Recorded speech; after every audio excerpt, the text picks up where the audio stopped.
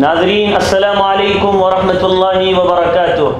خوش آمدید، فکر و خبر کے ساتھ ایک ملاقات میں اور آج ہمارے ساتھ خاص مہمان موجود ہیں۔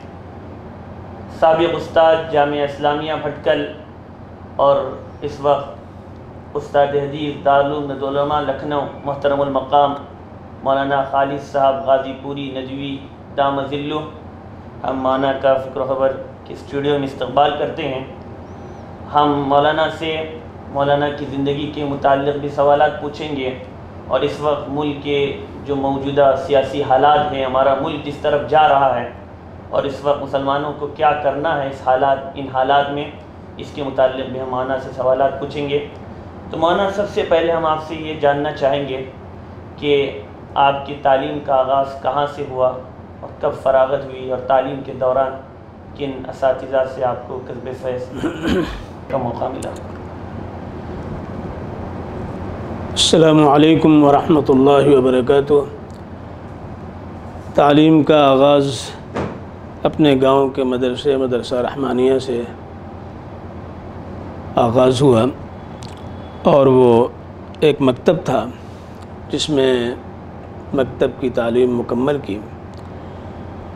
اس کے بعد پھر ایک پرائمری اسکول تھا ہمارے گاؤں سے قریب۔ وہاں ہندی کی تعلیم حاصل کرنے کے لیے میں داخل ہوا اور دو سال وہاں میں نے ہندی پڑھی۔ اس کے بعد حفظ کا شوق پیدا ہوا اور اس سلسلے میں ہمارے مربی اور محسن جناب ماں سراج الدین صاحب قاسمی رحمۃ اللہ علیہ، انہوں نے بڑی رہنمائی کی اور ہندی پڑھتے ہوئے میں نے سات پارے حفظ مکمل کیے اس شوق میں کہ دارالعلوم العلماء میں میرا داخلہ ہو جائے۔ اس لیے کہ دارالعلوم میں سات پارے کی قید تھی جب تک سات پارے حفظ نہ ہو، داخلہ نہیں ہوتا تھا۔ لہذا اسی آرزو کے تحت میں کشا کشاں دارالعلوم العلماء پہنچا، لیکن سوئے قسمتی کی داخلہ نہیں ہوا۔ بعض اسباب ایسے ہوئے کہ ہمیں پھر وہاں سے جامعہ عربیہ ہتھورا، قاری صدیق صاحب رحمۃ اللہ علیہ کے مدرسے میں جانا ہوا۔ اور ہمیں مولانا معین الدین صاحب ندوی، جن کو بڑا اعتماد حضرت مولانا علیمیہ رحمۃ اللہ علیہ کا حاصل تھا، وہ مجھے لے کر کے وہاں گئے اور دو سال میں نے وہاں حفظ کی تعلیم حاصل کی، مکمل کیا۔ حضرت قاری صاحب نے خود ان کی تصنیف کردہ کتاب تسیل التجوید انہوں نے پڑھائی اور گاہے بگاہے قرآن پاک بھی سنتے تھے۔ اس کے بعد پھر میں جامعہ ایک کوات کے اندر جو بہار کے اندر ایک مدرسہ تھا، جامعہ رشیدیہ کے نام سے، جو مولانا رشید احمد رانی ساگری نے قائم کیا تھا۔ وہاں ایک سال قرات پڑھنے کی غرض سے گیا اور ایک سال وہاں پڑھنے کے بعد پھر میں جامعہ شرقیہ میں داخل ہوا، جو جونپور میں ادارہ قائم ہوا تھا، جس کے ذمہ دار مولانا عبدالعرفان خان صاحب، ندوی دارالعلوم العلماء کے محتمم اور استاذ تھے ادب کے، منطق کے، فلسفے کے۔ ان کے ادارے میں مولانا معین الدین صاحب ندوی جو صدر مدرس تھے، وہ لے کر کے آیا اور ایک سال وہاں میں نے تعلیم حاصل کی۔ تو اول عربی کی تعلیم گویا عربی کی بنا جامعہ عربی جامعہ شرقیہ میں پڑھی۔ اور اس کے بعد پھر میں ندوے آیا اور سو عربی میں میرا داخلہ ہوا۔ اس کے بعد فضیلت تک میں نے ندوے میں تعلیم حاصل کی۔ اور اسی اسنا میں فرقانیہ جو قرآت کا مرکز ہے، اس میں میں نے روایت حفظ سے قرآت کی تکمیل بھی کی۔ اسی اسنا میں جب میں بہار میں تھا، تو فاضل دیوبند اردو دینیات سے بھی میں نے امتحان دیا تھا۔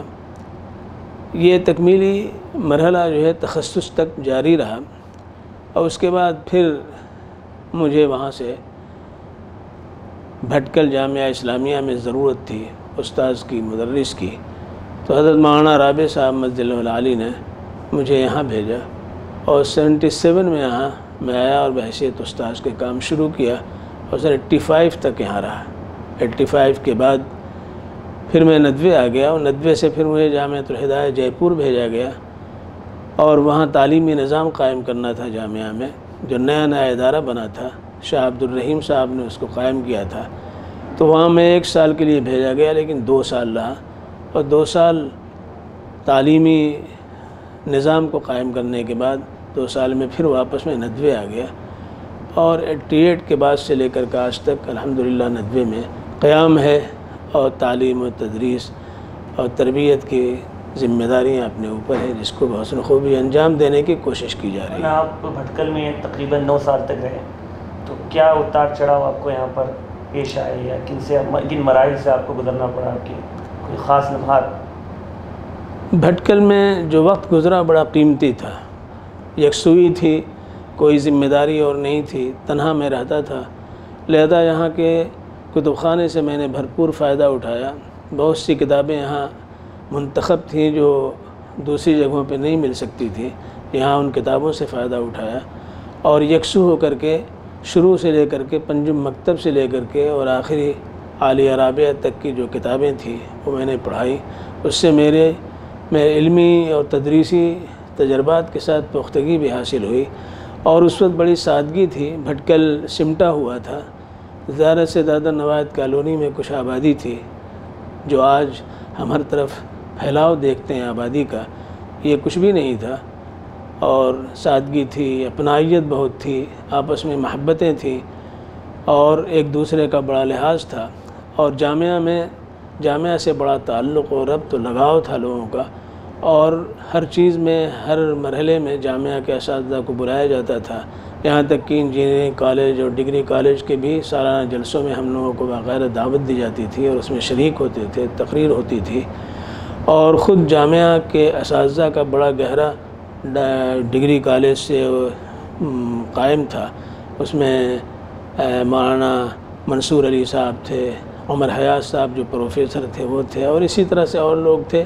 تو ایک طرح سے گویا ایک گویا کہ ایک معاشرہ، ایک سماج، ایک قبیلے کی حیثیت اور دونوں ادارے مل کر کے گویا دو آنکھیں اس اس بھٹکل کی تھیں اور آج بھی ہیں۔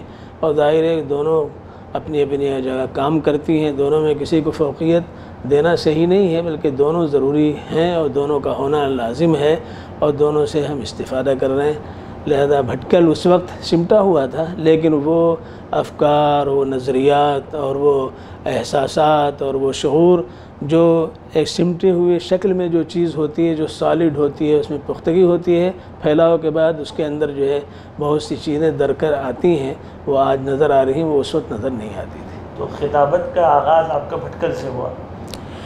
خطابت کا اصل تو آغاز دارالعلوم نت العلماء سے ہوا۔ وہاں کے جمعیت الاصلاح سے بھرپور فائدہ اٹھایا، وہاں کے ذمہ دار بھی رہے۔ اور اس کے علاوہ چار سال میں نے لکھنؤ میں حفظ، یہ ایک مسجد میں امامت کی۔ اور اس فکرے کا ساتھ میں گیا کہ عوامی ربط بھی ہو۔ لہذا جمعے میں خطاب ہوتا تھا۔ اور وہ مسجد تھی جو شیعوں کی تھی شہدہ مسجد شہدہ اس کو کہتے تھے۔ بیس روپے میں سنیوں نے اس کو خریدا تھا۔ اس کی تعمیر کا بھی کام چل رہا تھا تو ہر جمعے کو میری تقریر ہوتی تھی اور چالیس سے پینتالیس یا پچاس روپے تک چندہ ہوتا تھا۔ اس زمانے میں مزدوری ایک روپے، ڈیڑھ روپے، دو روپے تھی اور جو کام کرنے والے جو ہوتے تھے، مستری جو ہوتے تھے، وہ ان کی مزدوری جو ہے وہ تین پانچ روپے ہوتی تھی۔ لہذا پینتالیس روپے میں ایک ہفتے کا پورا نظم ہو جاتا تھا مزدور اور مستری کا۔ اس طرح اس کی تعمیر کا کام چل رہا تھا۔ تو اس سے بڑا فائدہ ہوا کہ میں تیاری کرتا تھا اور ہفتے میں میری تقریر ہوتی تھی۔ لہذا اس سے میں نے بڑا استفادہ کیا۔ ہے تو آغاز تو وہیں تھا۔ پھر یہاں جب ہم آئے تو یہاں آنے کے بعد پڑھانا ہوا اور اس کے ساتھ ساتھ چونکہ میدان خالی تھا، اس لیے کہ بیک وقت یہاں سے بہت سے اساتذہ رخصت پہ تھے اور وہ نہیں واپس آئے تھے۔ لہذا اس کمی کو بھی پورا کرنا تھا۔ تو اللہ رب العزت نے توفیق دی۔ لہذا میدان خطابت کی جو ضرورتیں تھیں اس کو بھی پوری کرنی پڑی اور تدریسی فریدہ انجام دینے میں بھی چونکہ وہاں پہ میں خود مذاکرہ کراتا تھا تو بولنے کی عادت تھی۔ تو یہاں پہ ہمارے جو طلبہ اس وقت کے تھے وہ کہتے تھے کہ کیا آپ کہیں پڑھا چکے ہیں؟ میں کہتا تھا نہیں، پہلی دفعہ پڑھانے کا اتفاق ہو رہا ہے، لیکن مذاکرے کا فائدہ یہ تھا کہ مجھے کوئی جھجک نہیں ہوئی، کوئی پریشانی نہیں ہوئی۔ اپنی بات کی تفہیم میں طلبہ تک جو ہے، اس کی ترسیل میں کوئی دشواری پیش نہیں آئی۔ مولانا عبدالباری نجوی رحمۃ اللہ علیہ، آپ آپ نے ان کو بہت شروع سے دیکھا، آپ کی شاگردوں میں تھے اور اللہ نے بہت کافی مقبولیت سے بھی ان کو نوازا۔ کیا چیز آپ نے بچپن میں ان دیکھی اور اس کے بعد بھی جس سے وہ اس مقام تک پہنچے مقبولیت اللہ نے۔ مل عبدالباری ندوی مرحوم کے اندر سب سے بڑی خصوصیت یہ تھی کہ وہ اپنے بڑوں کی بات مانتے تھے۔ اور اس کے ساتھ ساتھ اللہ نے ان کے اندر نبوغ رکھا تھا۔ بات ماننا بھی کیچ کرنا اور اس کو پھر اچھے ڈھنگ سے پیش کرنا۔ لہذا اسی لیے ان کو میں ہر اس پروگرام میں شریک رکھتا تھا جو جامعہ کے اندر ہوتا تھا، خواہ عربی کا ہو یا اردو کا ہو۔ اور اسی طرح جب کہیں جاتا تھا تو ان کو ساتھ لے کے جاتا تھا۔ اللہ نے اچھی آواز دی تھی ان کو، لہذا قرات بھی کرتے تھے، نعت بھی پڑھتے تھے اور ان سے تقریر بھی کرواتا تھا۔ تو بات مانتے تھے، ساتھ میں رہتے تھے۔ پھر ان کو میں نے پنجم مکتب سے لے کر کے عالیہ رابعہ تک، حدیث کی مشکات شریف سے لے کر بخاری شریف تک ان کو پڑھایا۔ اور بڑے ہی محنت سے پڑھنے والے، لگن کے ساتھ پڑھنے والے اور اپنے ساتھیوں میں ممتاز تھے۔ لہذا اللہ نے ان کو بعد میں نوازا اور پھر ذمہ داریاں ان کے سرائیں تو اس کو اچھی طرح سے انہوں نے نبھایا اور اتنے مقبول ہوئے کہ اس قریبی زمانے کے اندر اتنا مقبول کوئی دوسرا نظر نہیں آتا ہے۔ مولانا، یہ تو باتیں آپ کے سوالات، آپ کی زندگی کے متعلق تھے ہم آتے ہیں ملک کے حالات پر، ملک کی جو اس وقت، ملک جس دور سے ہمارا گزر رہا ہے۔ سب سے پہلے تو میں آپ سے یہ پوچھنا چاہوں گا، جو حکومت دو ہزار چودہ میں بنی اور چار سال اس کے مکمل ہو چکے ہیں۔ کس حد تک یہ حکومت کامیاب نظر آتی ہے؟ کیا؟ اگر اس حکومت کا جائزہ لیا جائے تو اس کے دو پہلو ہیں، ایک منفی ہے، ایک مثبت۔ منفی جو پہلو ہے، جو ان کے نزدیک مثبت، عوام کے نزدیک، ہمارے نزدیک، خاص طور سے ہم مسلمانوں کے نزدیک، وہ منفی پہلو ہے۔ کسی حکومت کا اس پہ چلنا کسی طرح مناسب نہیں ہے۔ لیکن ان کے نزدیک وہ منفی پہلو ہی مثبت ہے۔ اس اعتبار سے تو وہ کامیاب ہیں کہ عوام کے اندر گویا کہ فرقواریت کو فروغ دینا، مسلمانوں کے خلاف فضا تیار کرنا اور ایسے ہتھ کنڈے استعمال کرنا جس کے ذریعے مسلمانوں اور ہندوؤں کے درمیان تفریق پیدا ہو جائے۔ اس میں وہ کامیاب ہیں اور اس کو بہت فروغ انہوں نے دیا۔ اور آج اس کی وجہ، اس کی وجہ سے آج دیکھیے کہ گو رکشا کے نام پر یا آپ کے اسی طرح سے بچہ چوری کے نام پر پینسٹھ لوگوں کی جانیں جا چکی ہیں اور کتنے لوگ زخمی ہو چکے ہیں، لیکن حکومت اس پہ کوئی توجہ نہیں دیتی ہے۔ محض زبانی یہ کہ ہاں یہ جو ہے ان پہ سخت کارروائی کی جائے گی، ان کے خلاف ایکشن لیا جائے گا۔ لیکن ایک فرد بھی ایسا نہیں جس کو کوئی سخت کارروائی سے گزرنا پڑا، بلکہ اس کے برعکس آپ دیکھتے ہیں کہ جنہوں نے ایسا کیا، مار مار کر کے، پیٹ پیٹ کر کے کسی کو ختم کر دیا، قتل کر دیا، اس کو ملازمتیں دی گئی ہیں، اس کو ہار پہنائے گئے ہیں، اس کا استقبال کیا گیا ہے، اس کا اعزاز کیا گیا ہے۔ تو یہ ساری چیزیں ایک منصوبے کے تحت عمل میں آ رہی ہیں۔ لہذا وہ اپنے اس مقصد میں تو بہت حد تک کامیاب نظر آ رہے ہیں۔ لیکن جہاں تک یہ کہ مثبت سوچ، مثبت فکر، مثبت عمل اور عوام کے لیے اور حکومت کو جس طرح قائم ہونی چاہیے، اس کا جو معیار ہونا چاہیے اور ملک کے لیے جو مفاد کے پہلو ہو سکتے ہیں، منافع کے جو پہلو ہو سکتے ہیں، اس میں یہ بہت ناکام نظر آ رہی ہے۔ حکومت اور توقع یہ کی جاتی ہے کہ اگر یہ چیز قائم رہی اور یہ نہیں سنبھلے تو آئندہ الیکشن جو آنے والا ہے، عوام ایسی حکومت کو پسند نہیں کرے گی۔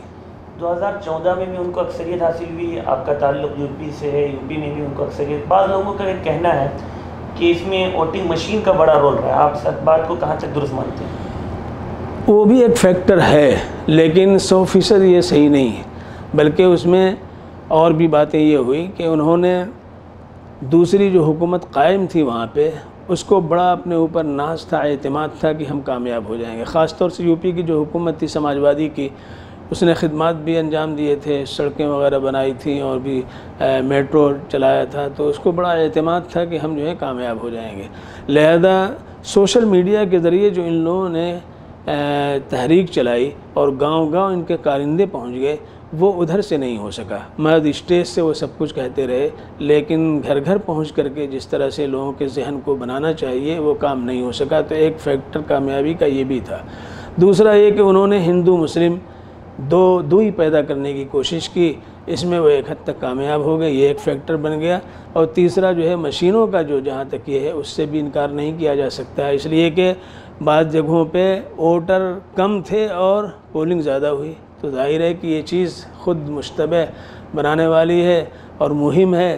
لہذا اس لیے بہت سی جگہوں پہ مشینیں پکڑی بھی گئیں۔ تو ایک فیکٹر یہ بھی ہو سکتا ہے۔ تین یہ چیزیں جمع ہو گئیں۔ اور چوتھی چیز یہ تھی کہ ایک یہ تھے لیکن دوسری طرف سماجوادی اور بی ایس پی اور دیگر کانگریس تو نتیجہ ہے کہ تین جگہ مسلمانوں کے ووٹ بٹ گئے اور نتیجہ ہوا کہ ان کا کامیاب اور ہو اگر مشین کو فیکٹر مانتے ہیں تو مخالف مخالف جو پارٹیاں وہ آواز کیوں نہیں اٹھا رہی؟ کیا وجہ سے نہیں اٹھایا اٹھایا ایسا نہیں کہ اٹھایا بھی اور اس کو لے بھی گئے۔ اس- مضبوطی کے ساتھ، جس مضبوطی کے ساتھ اٹھانا چاہیے تھا، ان کے افراد نہیں رہ گئے تھے اور شروع میں تو اتنا ایسی حیبت تاری ہو گئی کہ بولتی گویا کہ بند ہو جائے اس طرح سے اتنی زبردست کامیابی اس کو حاصل ہوئی کہ سب سوچتے رہ گئے، کیا ہو، کیا نہ ہو۔ تو ایک عرصہ تو ایسا گزر گیا کہ گویا کہ سوچ ہی میں ان کا گزر گیا۔ اس کے بعد پھر آواز اٹھی لیکن مشترکہ آواز ہو ایک پلیٹ فارم سے ہو تو قوت پیدا ہوتی ہے۔ جب خود ہی بٹے ہوئے ہیں اور کمزور ہیں تو آواز بھی آپ نے کمزور جن تین چیزوں کا تذکرہ کیا یہ حکومت اب بھی ان چیزوں کو کر رہی ہے۔ تو دو ہزار انیس کا الیکشن بالکل اس وقت قریب آ رہا ہے تو کیا لگ رہا ہے مطلب؟ اب اس میں؟ اس میں کامیابی کی ایک امید ہے۔ اس طور پہ کہ یہ پارٹیاں باہم متحد اگر ہو جائیں اور جیسا کہ باہم کوشش میں لگی ہوئی ہیں اگر یہ متحدہ اپنے کسی امیدوار کو کھڑا کرتی ہیں بی جے پی کے خلاف، تو انشاءاللہ وہ کامیاب ہو جائے گا۔ اس لیے کہ تین جگہ جو ووٹ بٹتے ہیں، وہ اگر جمع کر دیے جائیں تو ان کے ووٹ سے زیادہ ووٹ ہو جائے۔ تو کامیابی کی امید تو اس طرح کی جاتی ہے، لیکن یہ بڑے چال باز اور شاطر قسم کے لوگ ہیں۔ کہیں ایسا نہ ہو کہ ان کو آپس میں لڑا دیں۔ اور اس کی وجہ سے پھر یہ جمع نہ ہو سکیں، یہ خطرہ ہے۔ اور دوسرا جو مشینوں کا مسئلہ ہے، وہ اب بھی جو ہے، وہ ایک لٹکی ہوئی تلوار ہے، اس لیے کہ سپریم کورٹ نے بھی اس کو تسلیم نہیں کیا، الیکشن کمیشن نے بھی نہیں تسلیم کیا ہے۔ تو گویا ان کے صاف سامنے یہ بات صحیح ہے کہ مشینیں بالکل صحیح ہیں اور درست ہیں، لہذا اس کو وہ استعمال کریں۔ بعض لوگوں کا یہ کہنا ہے کہ اس وقت دو ہزار انیس کے الیکشن میں مودی کا چہرہ ہٹا کر امت شہرہ، امت شاہ کا چہرہ لایا جا سکتا ہے۔ کہاں تک درست لگتا ہے آپ کو امت شاہ کے اندر وہ گٹس نہیں ہے امت شاہ کے اندر وہ کشش نہیں ہے جو مودی کے اندر ہے۔ مودی بڑا مجھا ہوا ہے بولنے کا بڑا اس کو ملکہ ہے اور استدلال جو کرتا ہے، انتہائی رف اور جھوٹ باتیں اگر بھی ہوتی ہیں تو اس کو بھی اس قوت کے ساتھ وہ کہتا ہے کہ امت شاہ وہ نہیں کہہ سکتے۔ امت شاہ لڑا تو دیں گے، لیکن عوام کو کے اندر کشش پیدا کر کے اپنے قریب کر لیں یہ امت شاہ کے اندر نہیں ہے۔ ابھی آپ نے کل دیکھا ہوگا کہ جو جملہ انہوں نے استعمال کیا، آسام کے اندر چالیس لاکھ چالیس لاکھ لوگوں کو اس سے الگ کر دیا گیا ہے ووٹر لسٹ میں ان کا نام نہیں ہے۔ تو امت شاہ نے آخر میں یہ کہا کہ کانگریس جو جیو لے آئی تھی اس کو ہمت نہیں ہوئی کہ ایسا کر سکے، ہم نے ہمت دکھائی، ہم نے کر دیا۔ تو ظاہر ہے کہ ایک حکومت میں ذمہ دار عہدے پر رہتے ہوئے اس طرح کی بات کرنے والا ظاہر ہے کہ ڈکٹیٹرانہ انداز اختیار کر رہا ہے اور یہ چیز کسی طرح سے عوام کے لیے آج نہیں تو کل قابل قبول نہیں ہو سکتی۔ اللہ آخری سوال، ملک کے اندر مسلمان موجودہ حکومت سے خوفزدہ بھی ہیں، الیکشن بھی آنے والا ہے۔ میں مختصراً چاہوں گا کہ اس وقت آپ فکر و خبر کے پلیٹ فارم سے پیغام دیتے سے مسلمانوں میں ہمت پیدا ہو، امید کی کرن جاگی مسلمانوں کو نا امید کبھی نہیں ہونا چاہیے۔ امید کا دامن اللہ رب العزت کے حکم پر چلنے کے ساتھ ساتھ مضبوطی سے تھامنے پر ہے۔ لہذا یہ حالات تو ہمیشہ آتے رہتے ہیں، جاتے رہتے ہیں۔ ہمیں اللہ پر یقین کر کے اپنے ووٹ کو اجتماعی طور پر استعمال کرنے کی کوشش کرنی چاہیے۔ کسی بھی پارٹی کو دیں، جسے مناسب سمجھیں یا جس منتخب امیدوار کو جس کا انتخاب ہوا ہے اس علاقے کے لیے، وہ اگر مفید ہے، صالح ہے، تو اجتماعی طور پر اس کو ووٹ دیں، تو انشاءاللہ اس کے ذریعے بہت کچھ کامیابی حاصل کی جا سکتی ہے۔ بہت بہت شکریہ مولانا آپ نے اپنا قیمتی وقت ہمیں دیا۔ ہم دعا کریں گے، جو باتیں آپ نے کہی ہے اللہ ہم سب کو عمل کرنے کی توفیق دے اور اللہ تعالیٰ آپ سے مزید کام لے، آپ کی عمر میں اللہ برکت دے۔ تو ناظرین، اسی پر ہم آج کا یہ پروگرام ختم کرتے ہیں۔ آئندہ انشاءاللہ پھر ملاقات ہوگی کسی نئی شخصیت کے ساتھ، تب تک کے لیے ہمیں اجازت دے السلام علیکم ورحمۃ اللہ وبرکاتہ Mm-hmm.